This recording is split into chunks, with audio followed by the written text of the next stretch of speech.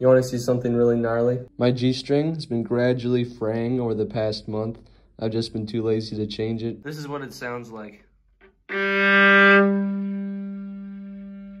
just keeps buzzing.